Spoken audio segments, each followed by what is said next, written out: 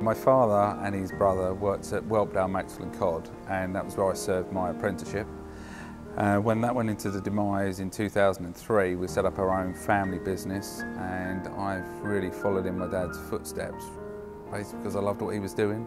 I loved the working with my hands and producing something from nothing back to sort of beautiful. The main sort of crux of the business is full rebuild pianos. So something will come in 100 years old and go out looking basically better and sounding better than new. Um, but we can offer just casework, internal work, so soundboard, uh, restring, or we can use, do action work. So it's just whether you need a new set of hammers or your keys recovered.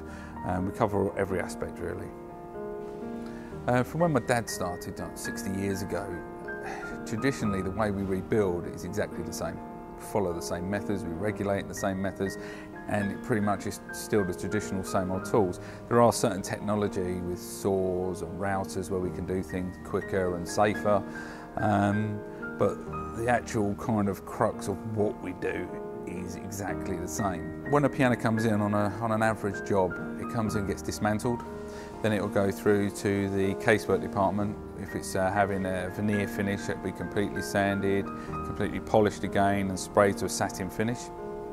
Then it goes through to the soundboard department and has a new soundboard bespoke made for it here and a new wrest plank then the frame's regilded and it's uh, restrung. Then it comes down the line to the action work where we fit the new hammers.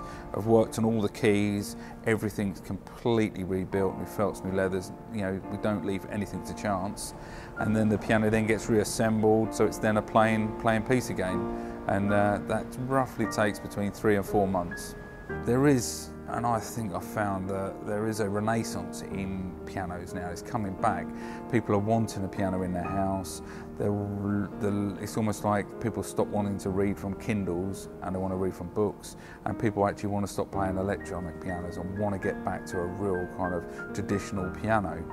Um, and as far as uh, apprenticeships, uh, we are trying to find some apprentices, but it is hard to find people who really want to work with their hands and just want to dedicate themselves to an apprenticeship where the kind of the schemes have been lost over the years.